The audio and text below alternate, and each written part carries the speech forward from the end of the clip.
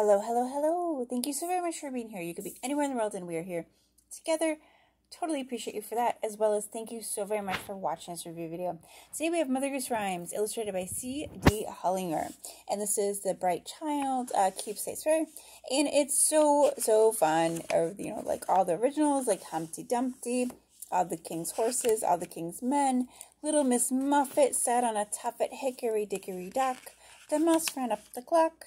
Jack and Jill went up the hill to fetch a pail of water. There was an old woman who lived in a shoe.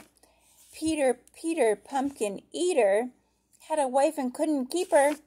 Twinkle, twinkle, little star. Ba, ba, black sheep, have you any wool? Yes, sir, yes, sir, three bags full. All right, totally fun. Bye for now.